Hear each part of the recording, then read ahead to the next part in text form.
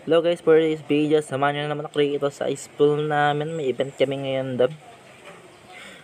Ang sining laya nga mga kaidol. Follow mo na, subscribe mo na sa Facebook, TikTok, YouTube for more videos mga kaidol. At dito lang agad tayo sa school, tanghali at kumain muna kami ng aking mga kaibigan na si Frankie at Aaron Mark. Kung saan rampa kami. Let's go. Ito nga napapansin nyo ng mga kaidolo sa sobrang daming tao at iba-ibang level ng mga kaidolo preschool, high school, senior high school at colleges mga kaidolo. Ito nga pala ang kas- kasuotan din ng mga andito mga yan, ni Berong, Mega, may tuxedo at iba pa mga kaidolo. Ito, ito nga kakating aming kasuotan, ang casual at tribal culture. Walang ganun mga kaidolo. Yan, papansin mo. At pinagsasayaw, nagpe-perform dito mga kaidol dahil sining laya ngayon.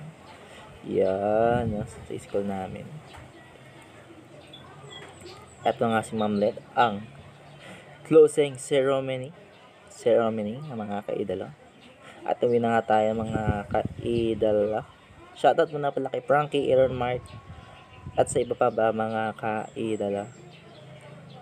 And ride safe sa inyo and peace out.